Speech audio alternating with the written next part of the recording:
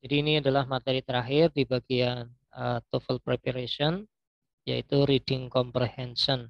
Nah, untuk reading itu nanti diuji di akhir sesi ketiga yang mana untuk reading itu sendiri itu memang uh, kita harus memiliki target ya, target jumlah betulnya di tes nanti. Karena apa? Karena poinnya itu paling rendah kalau dibanding dengan yang bagian listening maupun yang bagian grammar. Minimalnya berapa? Kalau misal ingin dapat skor 500 ya di atas 25. 25 25 itu pun masih tergolong sedikit itu aslinya. Jadi 50 soal betul minimal separohnya ya insya Allah bisa kan 25 soal kan termasuk banyak itu. Kalau kita dapat 25 udah termasuk lumayan. Nah, apa itu reading comprehension test? Jadi reading itu diujikan hanya untuk mengukur kemampuan kita untuk memahami bacaan pendek yang mana bacaan tersebut tentunya ditulis dalam bahasa Inggris karena ini kan memang tes bahasa Inggris. Nah, kita diuji tentang pemahaman akan sebuah bacaan dalam bahasa Inggris memang ada fungsinya. Fungsinya apa ya? Tentunya tentu saja kalau misal kita kuliah, kita dapat apa itu? research dari dosen kita untuk mempelajari sebuah artikel, kita nanti bisa paham apa yang disampaikan oleh bacaan tersebut. Karena fungsi utama dari tes TOEFL kan memang untuk nantinya kita bisa mudah untuk kuliah lagi karena kan syarat sebuah uh, apa itu? Apply untuk kuliah di luar negeri kan memang bisa berkomunikasi dengan bahasa Inggris. Salah satunya ini dengan membaca juga bisa paham apa yang disampaikan. Terus untuk uh, bacaannya itu diambil dari buku-buku pelajaran. Jadi nggak ada topik-topik uh, yang apa itu kalau di SMA itu kan ada topik yang namanya naratif. Itu teks naratif, teks yang isinya kayak dongeng, cerita rakyat. Nah, kalau untuk yang TOEFL ini nggak ada seperti itu. Jadi lebih ke ilmiah karena diambil dari buku-buku pelajaran. Oleh karena itu, kita bisa meningkatkan kemampuan bacaan kita dengan yaitu baca-baca artikel-artikel yang lebih ke academic word kosakata yang akademik. Kita bisa mendapatkan bacaan-bacaan tersebut dari berita-berita kayak Jakarta Post itu juga termasuk salah satu yang bisa kita gunakan untuk melatih kemampuan kita dalam memahami bacaan. Kalau untuk yang Inggris itu bisa baca BBC Learning itu bagus. Kalau dulu saya suka baca-baca di bbclearningenglish.com itu kan ada juga yang untuk khusus belajar bahasa Inggris ada, untuk yang speaking itu juga ada, listening juga ada di situ udah lengkap. Nah, terus untuk tesnya reading ini nanti ada 5 five passage, 5 bacaan atau 5 topik di mana untuk topiknya ini, bacaan ini eh, katanya itu ada sekitar 300 sampai dengan 350 kata. Berarti kalau 300 sampai 350 kata itu kalau di copy di Microsoft Word itu sekitar satu halaman lah. Kurang lebihnya segitu. Jadi ada sekitar beberapa paragraf mungkin sekitar 4 lah. 4 sampai 5 paragraf. Yang isinya sekitar 300 sampai dengan 350 kata. Setelah bacaan nanti ada beberapa pertanyaan seputar bacaan tersebut dan biasanya pertanyaannya itu ada 9 sampai dengan 11 pertanyaan dalam satu topik.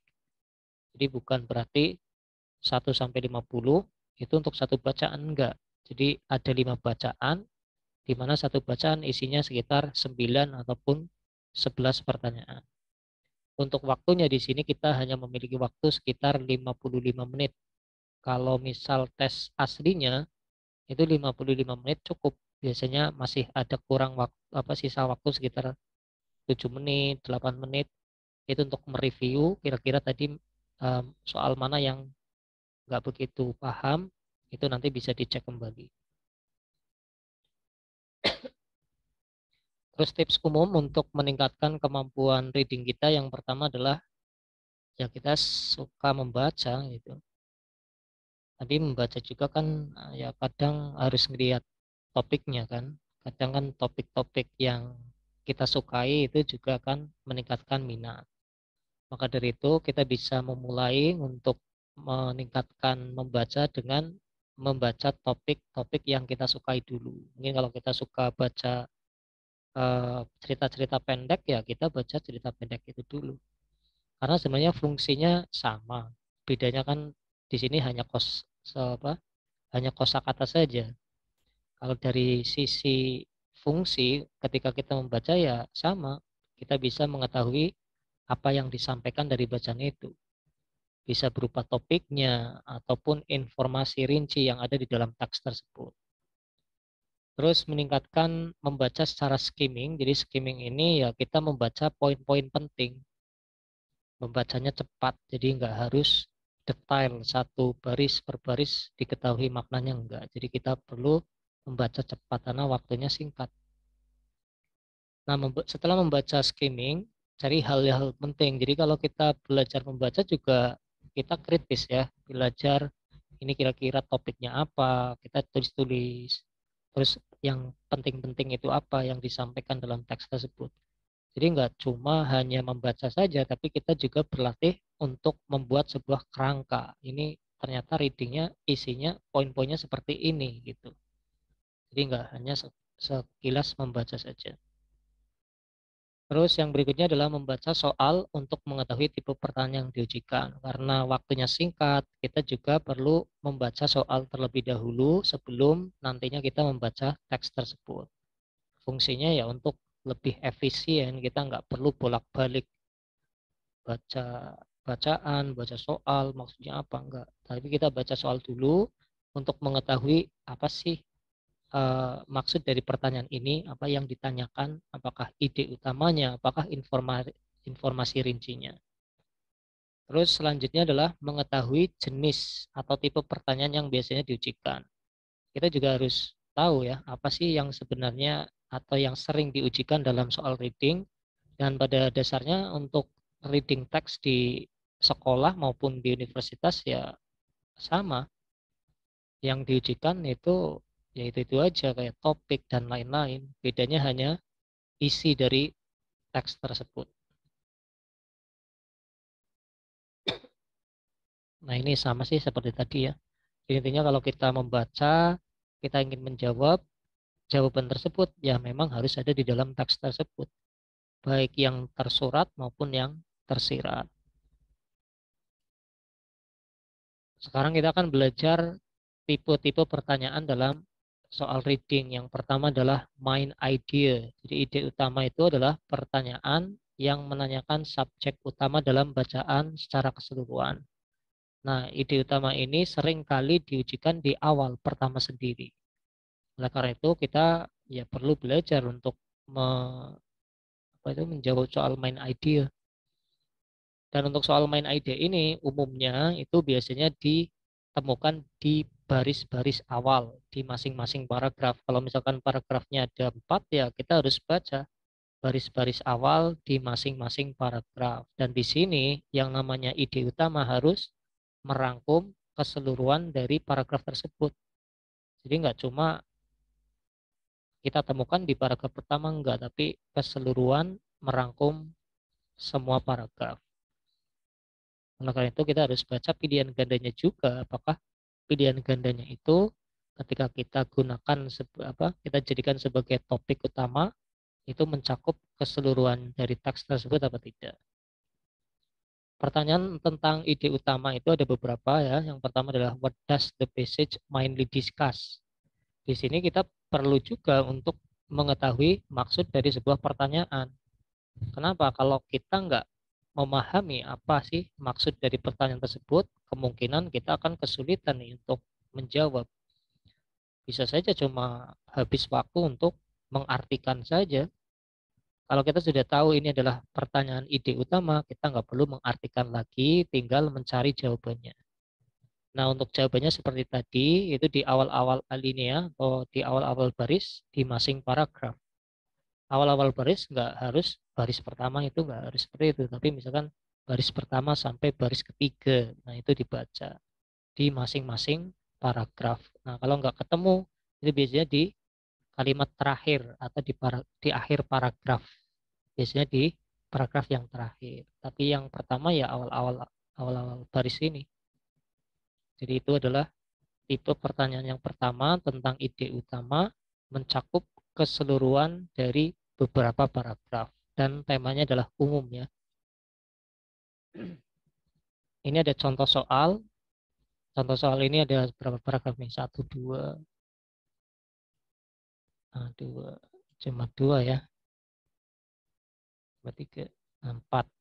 Ini yang pertama, satu, dua, tiga, empat.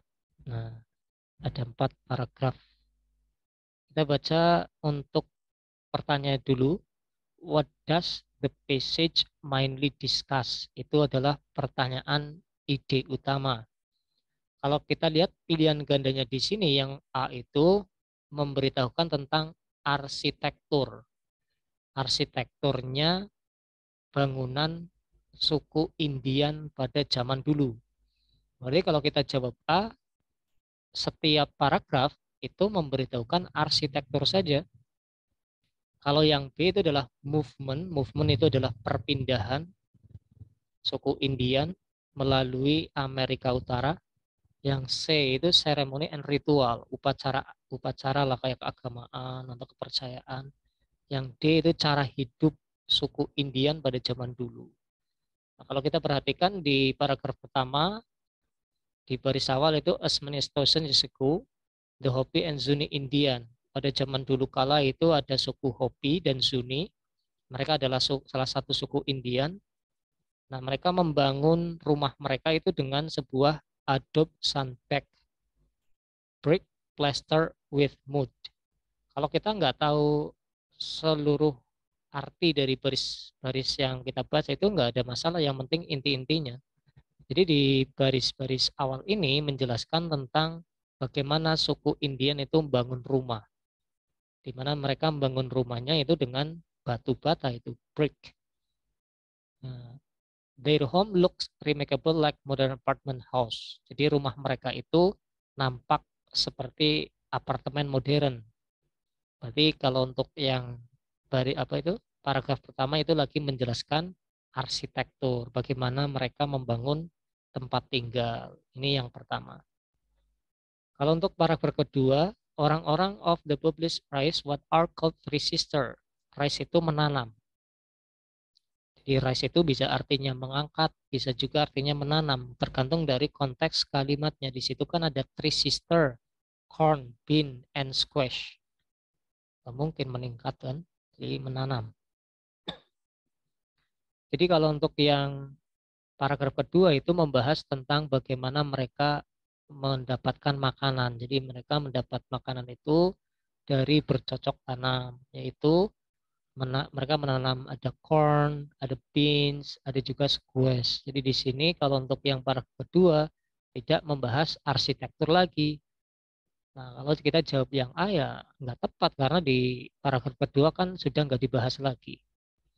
Terus yang uh, paragraf ketiga itu the way of life less settled group was simpler. Jadi cara hidup mereka, grup-grupnya itu sangat sederhana.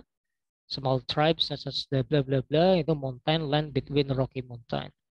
Jadi di sini untuk yang para kita ketika itu membahas bagaimana mereka berkelompok ya hidup dengan uh, masyarakat yaitu mereka itu tinggalnya di dry and mountain land di di daratan yang kering di pegunungan biasanya mereka hidupnya di antara pegunungan Rocky dan Pacific Ocean. Jadi untuk yang baris kedua ini ya membahas bagaimana mereka bertempat tinggal. Terus yang terakhir the Chen Beo Xiao Tribe bla bla bla ini membahas tentang bagaimana mereka juga cari makan yaitu dengan berburu. Nah, mereka berburu kerbau ya, buffalo. Jadi bison itu bison bison itu sama dengan buffalo. Its meat was chief food of tribes and its hide was used to make the clothing dan lain sebagainya. Jadi kalau kita melihat dari paragraf pertama, kedua sampai ketiga itu adalah bagaimana sih mereka menjalani hidup. Dari yang pertama adalah membuat rumah, terus mereka mungkin pindah tempat. Kalau misalkan di rumah yang awal itu enggak uh, bagus lagi untuk hidup, terus lagi mereka juga uh, berburu untuk mencari makanan. Berarti dari pilihan ganda A, B, C, D yang paling tepat untuk mewakili topiknya adalah cara hidup dari suku orang Indian yang dibahas di berbagai paragraf tersebut. Jadi jawabannya adalah yang D. Terus yang berikutnya di sini ada dua paragraf. Kita lihat uh, jawaban uh, soalnya. Which of the following would be the best title for this passage? Ini juga termasuk salah satu pertanyaan untuk menanyakan ide utama. Kalau kita lihat pilihan ganda di sini yang pertama adalah the process of nitrogen fixation. Proses dari nitrogen fixation. Kita lihat di paragraf di sini. Paragraf pertama memang membahas tentang bagaimana proses nitrogen fixation itu. Tapi kalau paragraf kedua apakah masih sama pembahasannya? Kalau di sini kan yang dibahas adalah uh, proses dari denitrification. Berarti kan ada dua proses nitrogen yang dibahas. Kalau yang A itu hanya di paragraf pertama. Berarti yang A kita harus eliminasi. Terus yang berikutnya yang C, the return of nitrogen to the air. Kembalinya nitrogen ke udara. Di sini kan nggak dibahas kan. Yang D, the effect of nitrogen on plant life. Di sini juga nggak dibahas. Kalau di baris awal itu semuanya membahas dua proses dari nitrogen. Jadi jawabannya yang tepat adalah yang D. Selesai untuk yang pertama, ide utama. Mungkin ada pertanyaan, silahkan.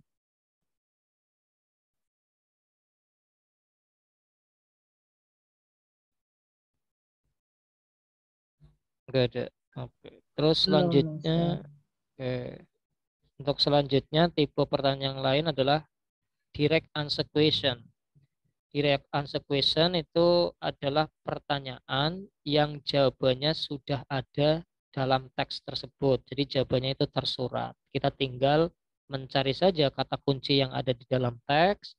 Setelah itu kita baca kalimat lengkapnya dan cocokkan dengan pilihan gandanya.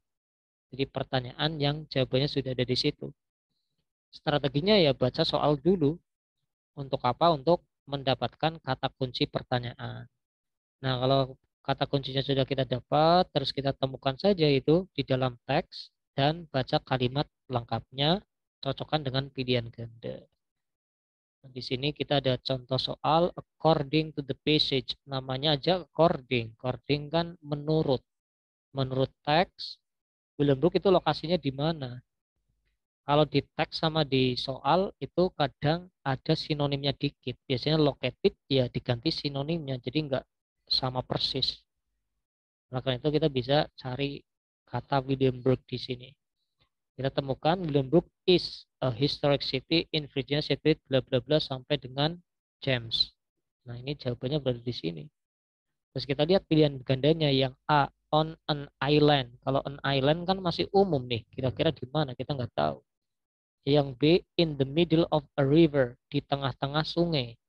Yang C, di mana sungai York and James bertemu. Yang D, on a piece of land, di sebuah daratan dengan uh, sungai di kedua sisinya.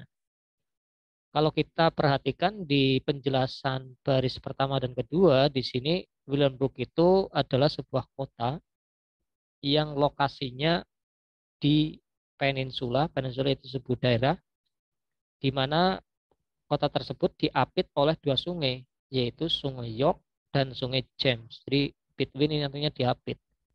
Berarti kalau kita bayangkan itu kota Williamsburg itu di tengah-tengah, kiri kanannya ada sungai, bukan di tengah-tengahnya sungai. Jadi jangan juga terjebak dengan pilihan ganda di sini. Nah berarti yang tepat ya yang di di sebuah daratan.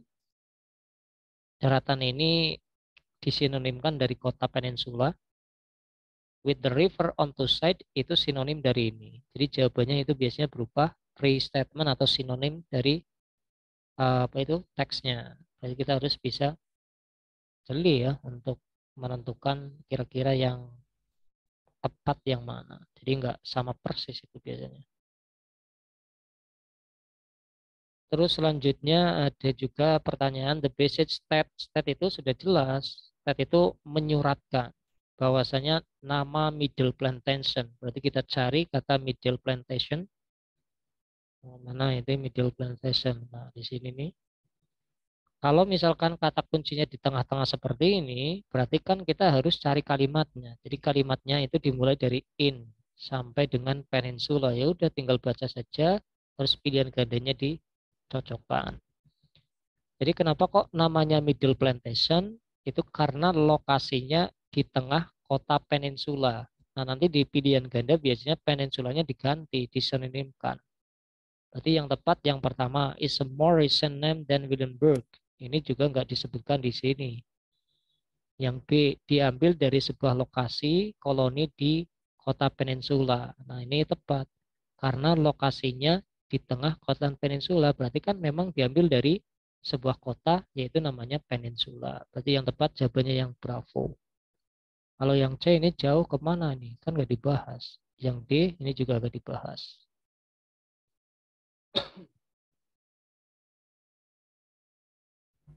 Selanjutnya yang ketiga adalah unstated detail. Kalau unstated detail itu adalah pertanyaan yang menanyakan informasi tidak disebutkan atau tidak dibahas di dalam bacaan.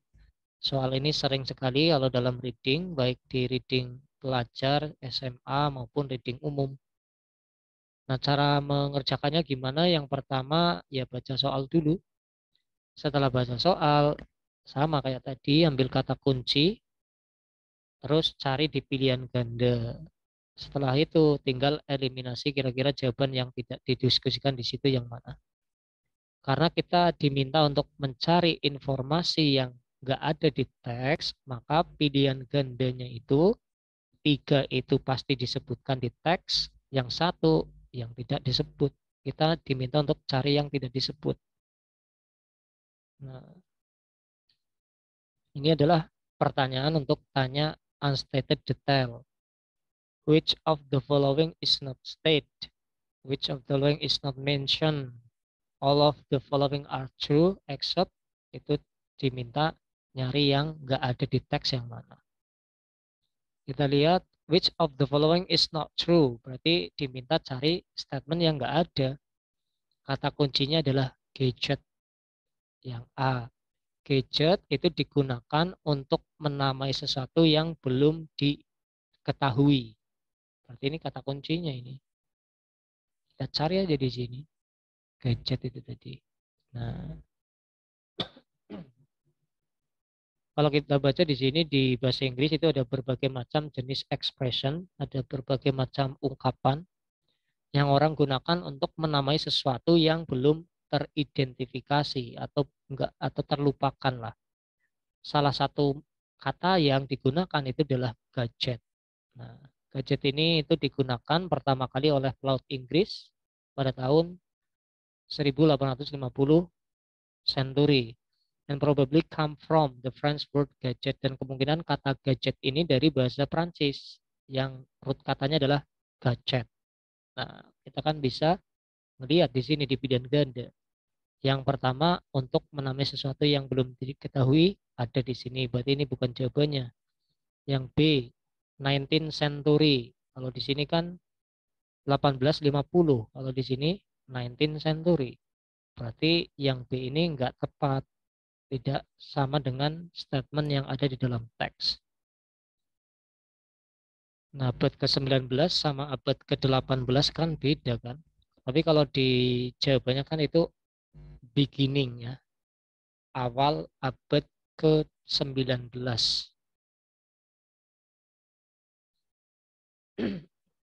kalau abad ke-19 sih tahun berapa ya?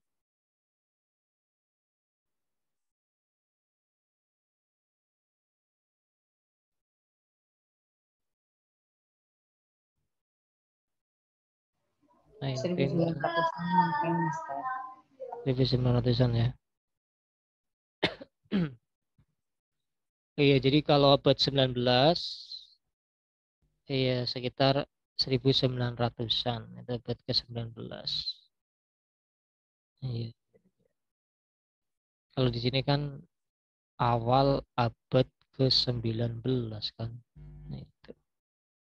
Padahal di sini kan 1850 kan. Jadi tidak tepat. Pertengahan abad itu malah. Ya ini malah di pertengahan abad ke-19 kan. Karena kalau abad ke-19 itu kan dimulai dari tahun 1801 sampai dengan 31 Desember apa 1900. Nah, berarti kan karena di sini menyebutkan awal padahal ini pertengahan ya berarti enggak tepat. Oke, terus selanjutnya mana di bawah ini yang tidak disebut sebagai sebuah ungkapan untuk menamai sesuatu yang belum diketahui. Yang pertama ting mabub, di sini ada gadget tadi, dohike juga ada, mana dohike? Yang enggak ada what is it. Kalau di sini kan what is, gitu ya. Jadi yang tidak ada berarti yang D. Selanjutnya untuk pertanyaan yang lain adalah indirectly answer question. Jadi indirect answer question adalah pertanyaan yang jawabannya tidak secara langsung, berarti kebalikannya, tersirat. Kita harus memahami apa sih bacaan tersebut. Nomor satu, which of the following is probably not Hawaiian word? Mana di bawah ini yang bukan termasuk bahasa Hawaii? Pilihan gandanya ada maholo, mahi-mahi. Kalau kita lihat di sini di pilihan apa di teks enggak nggak akan ketemu. Kenapa? Karena ini kan kita diminta untuk menyimpulkan bagaimana sih huruf Hawa itu. Ya, kita harus tahu maksudnya ini biar bisa menyimpulkan mana yang bahasa Hawaii.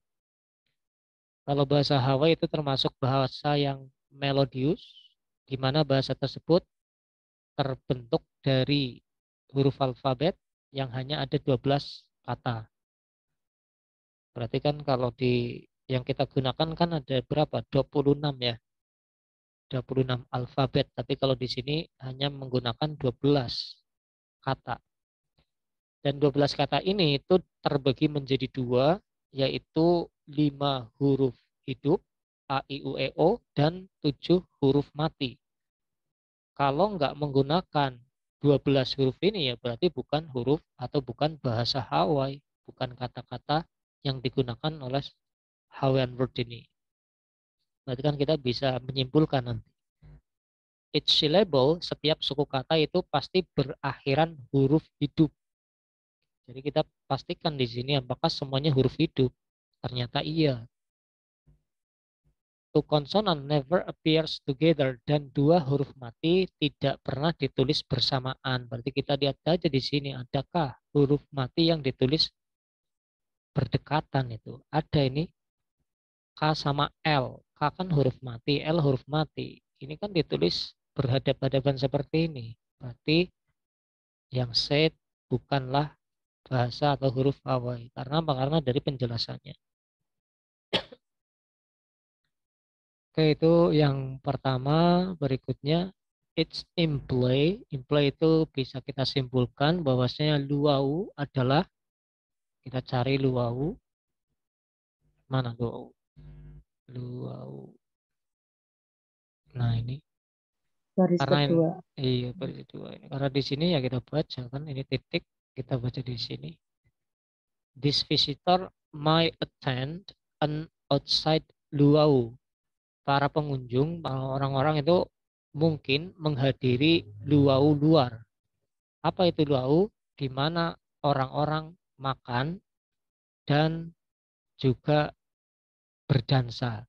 Nah, kira-kira kegiatan apa itu? Diundang, di sana makan-makan, sama dansa. Yang A, dansa. Yang B, ini adalah pesta, konser,